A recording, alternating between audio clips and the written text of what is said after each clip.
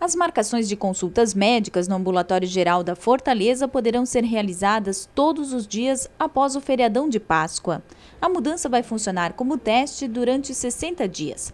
Atualmente, as consultas são marcadas apenas nas quartas-feiras para a semana seguinte, mas a partir do dia 22, os usuários podem fazer o agendamento em qualquer dia da semana.